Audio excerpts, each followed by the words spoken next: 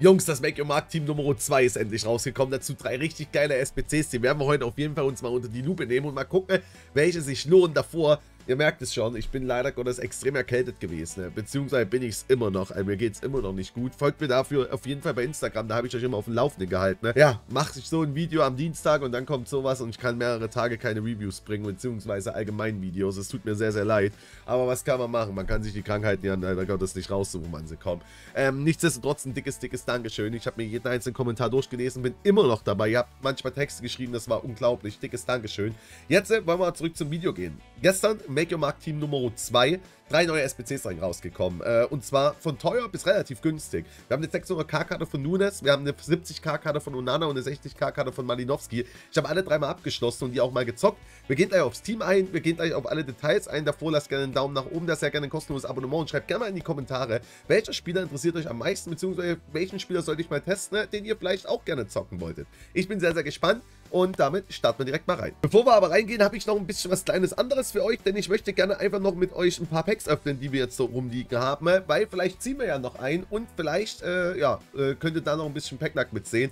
Auf meinem Main-Account, ich war ja jetzt mehrere Tage nicht aktiv, habe auch keine SPCs oder so gemacht. Ich habe halt einfach die SPCs noch fertig, beziehungsweise die Packs noch rumliegen, die einfach so abgeschlossen wurden. Ich kann euch auf, eins, äh, auf jeden Fall eines sagen, auf meinem Main-Account habe ich äh, 16 Siege geholt gehabt in der letzten Weekend League, habe dadurch den Enzo Fernandes bekommen, was ganz cool ist. Den könnte ich natürlich jetzt im jetzigen, äh, in der jetzigen Weekend League spielen. Bin aber ehrlich zu euch, wie seht ihr das? Für Nuno Mendes, den mache, mit dem Schwitzer-Team, mit keiner Abwehr wirklich, recht schwierig. Also da hätte ich mir ein bisschen mehr einfallen lassen von mir, ey, dass da wirklich viele spielen, weil so spielst du ja immer nur gegen die absoluten Schwitzer.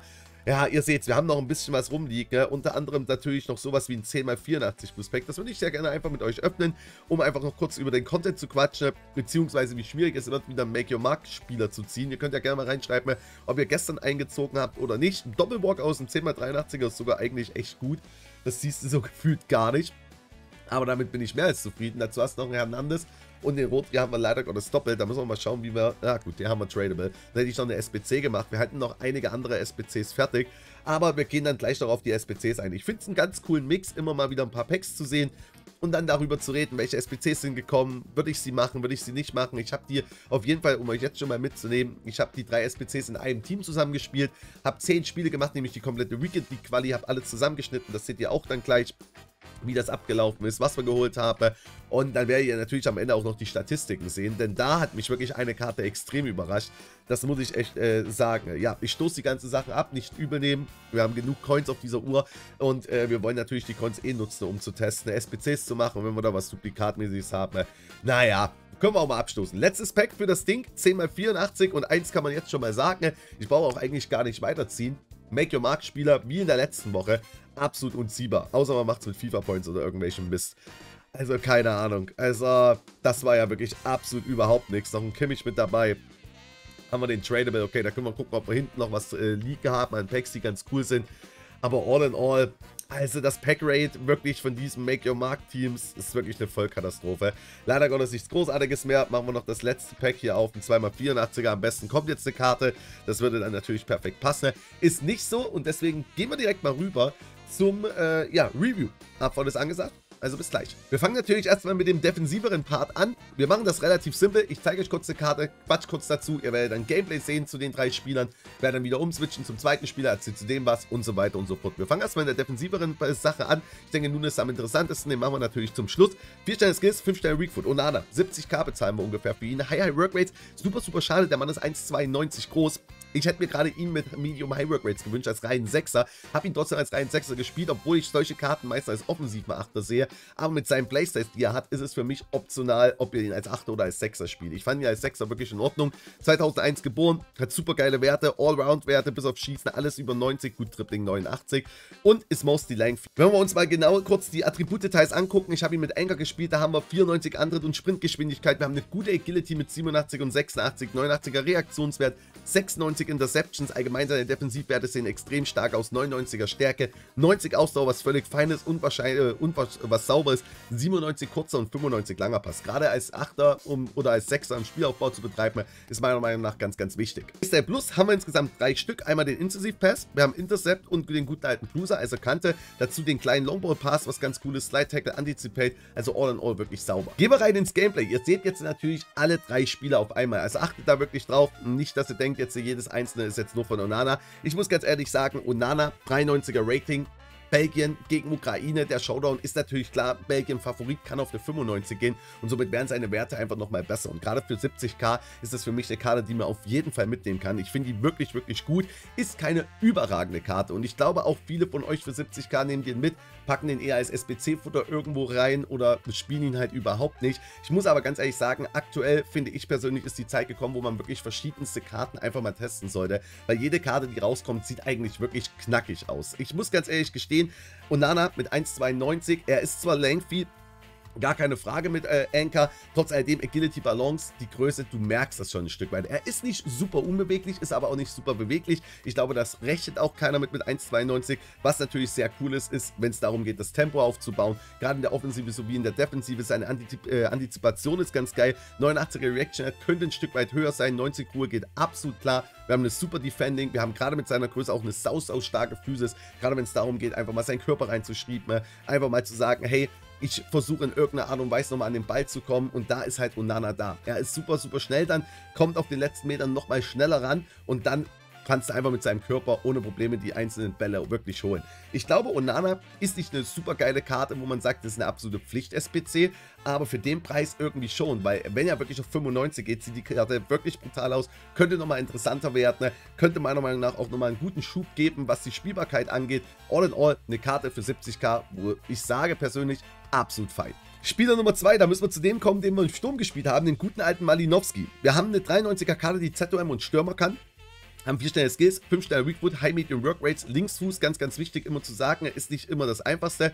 Und er kann ZOM und Stürmer spielen. Hat heißt keine Second Position auf den Flügeln bzw. im ZM. Ich bin ehrlich mit euch, ich spiele eigentlich mittlerweile nur 4-2-2-2. Bedeutet, ich habe meine Außenspieler als ZOMs eingebracht, zwei Stürmer und zwei Achter bzw. Sechser, wie man es halt nennen mag. Und Malinowski hat für mich meiner Meinung nach so wenig Defensivwerte, beziehungsweise ist mir sehr gut aufgefallen, dass gerade solche Karten, die eigentlich wirklich Zehner sind, wie Vegetarian, relativ gut untergehen bei mir im offensiven Achtermittelfeld. Warum das so ist, kann natürlich an meiner Spielweise liegen, gar keine Frage. Deswegen habe ich ihn im Sturm gespielt, weil seine Werte echt gut aussahen. Ich habe ihn mit Engine gespielt, dadurch ist er Controlled Explosive, was schon mal ganz cool ist. Und seine Grundstats sehen halt wirklich solide aus. Ich habe ihn halt so gespielt, dass ich ihn eher als Stürmer fallen gelassen habe, damit er so ähnlich wie ein ZOM agiert, um Pässe auf die Außen zu bringen, auf meinen Nunes, den ich im Sturm gespielt habe. Und das hat wirklich brillant funktioniert. Das muss man wirklich sagen. Mit seinen Playstyles von Incisive Pass, mit Technical und mit gerade mit Press Proofen, was meiner Meinung nach extrem cool ist zum heutigen Zeitpunkt, plus den kleinen Longball Pass, hast du eigentlich alles, was du brauchst. Den kleinen Schnittstellen Pass hast du auch noch mit dabei. Und du findest halt wirklich bei dieser Karte eigentlich nichts, worüber du meckern kannst. Du hast wirklich einen absolut geilen Assistgeber, wenn es um die passende, um die Passstaffetten geht. Du hast wirklich eine gute Flankenwert, falls du über die Flanken gehen möchtest. Agility, Balance mit seinem R1-Tripling zusammen kombiniert. Mega, mega stark. Ich hätte mir vielleicht bei ihm noch 5 Sterne Skills gewünscht. Ich glaube, das wäre schon ganz cool gewesen. Gerade mit seiner Größe von 1,81 hätte das ganz gut funktioniert. Du hast einen guten Longshot, eine gute Shot-Power, aber auch sein Finishing, gerade im Doppelsturm, hat wirklich, wirklich äh, sauber äh, gefunkt. Also das hat wirklich gepasst. Du hast eine gute Ausdauer. Und was mir am meisten gefallen hat bei dieser Karte, das muss man wirklich äh, sagen, sind seine 87er Aggressionswerte. Denn die fühlen sich zu 100% wie eine 99 an. Weil es ist so ein, so ein Ding, er verliert den Ball, direktes Gegenpressing und er kriegt den Ball immer wieder. Also es heißt, er stochert sozusagen immer wieder im Zweikampf und diese Bälle holt er sich halt immer wieder zurück und das macht halt super viel Spaß, weil dadurch kriegt er wieder Aktion, wo er halt wieder einen Ball vorlegen kann. Das ist ganz, ganz oft vorgekommen, das seht ihr auch in den Szenen. Also all in all Malinowski für eine 60k-Karte ist das auf jeden Fall ein Muss, auch wenn er vielleicht nicht so die höchsten Chancen hat, auf eine 95 zu gehen. 60k hat jeder, das Futter hat definitiv jeder, mitnehmen, Spaß haben. Und vielleicht kann der ein oder andere ihn als 10er wirklich spielen, weil ich glaube, da ist er wirklich, wirklich sauber. Den letzten Spieler, den wir haben, natürlich der ist 600k David Nunez, also ich glaube 570k kostet er aktuell, 4 Sterne Skills, 5 Sterne Weakfoot, High High Work Rates, muss ehrlich gestehen, als Stürmer High High, ich finde mal High Medium deutlich, deutlich stärker, 4 Playstates Plus haben wir mit am Start. Wir haben ultra kranke Stats. 95 Pets, 92 Schießen, 93 Dribbling, 93 Physis. Der Mann hat halt wirklich auch mit Uruguay eine unfassbar geile Möglichkeit, richtig viele Upgrades zu sammeln. Das ist ja wirklich nicht wenig. Dazu haben wir wirklich einen Bodytype, der bei Nunes mir immer schon gefallen hat, auch dieses Jahr. Gerade seine 82er Karte, die wir hatten, den haben viele gespielt, der war auch sehr teuer am Anfang, hat glaube ich auch in die ersten SPCs reingepasst, da haben viele den mitgenommen. Und er kann halt auch als linker Flügel gespielt werden, muss aber sagen, ich würde Stürmer definitiv präferieren. Und ja, was soll man sagen? Also, ich habe ihn mit Hawk gespielt. Er ist leider Gottes controlled. Das ist ein bisschen schade. Trotz alledem, sein Pace brillant. Sein Schießen sieht absolut insane aus. Genauso Tripling, Passende und wie Physis. Playstyle Plus haben wir auch äh, vier Stück. Finesse Shot Trade, was meiner meiner Lieblingstrades ist. Power Shot habe ich gar nicht so oft benutzt. Rapid und auch hier Press Proven. Und ich muss euch ehrlich gestehen, Nunez, ihr werdet gleich seine Statistik in den 10 Spielen sehen, was wir in der Weekend League Quali gerissen haben. Der Mann hat alles auseinandergenommen. 570 Karten für mich absolut fein. Gerade mit den Upgrade-Möglichkeiten, die er hat. Ich würde ihn zu 100% einpacken. Wirklich, die Karte ist ultra, ultra sick. Sie macht halt mit seinem Body-Type, also allgemein das Body-Type-Ding, er ist halt so ein bisschen ein bisschen dicklicher und hat halt eine unfassbar geile Durchsetzungsmöglichkeit oder Durchsetzungsfähigkeit. Du hast ein gutes Gegenpressing und du hast halt, gerade wenn du im Ball bist, mit den 4 Sterne Skills, 5 Sterne wären natürlich cooler gewesen, aber durch das Press Proof, der hat halt absolut keinen Stress, ob da zwei Gegner, drei Gegner um den rum sind. Entweder der schließt perfekt ab, bringt einen guten Ball zum Mann oder setzt sich einfach im Tripling durch. Denn Tripling-technisch ist diese Karte wirklich, wirklich sauber mit Rapid, Übersteiger, Antritt, ultra insane. All in all eine Karte, die mir unfassbar, unfassbar viel Spaß gemacht hat. Das ist wirklich, wirklich krass gewesen. Ne? Hätte ich niemals damit gerechnet, gerade weil seine 95 Agility und 91 Ballons dazu kommen, 97 Reaktionswert mit 97 Ruhe. Es ist all in all alles, was du für einen Stürmer brauchst. Und wenn wir uns mal die Statistiken angucken, dann seht ihr erstmal, dass wir in den 10 Spielen Unana äh, ganz entspannt 10 Spiele gemacht haben.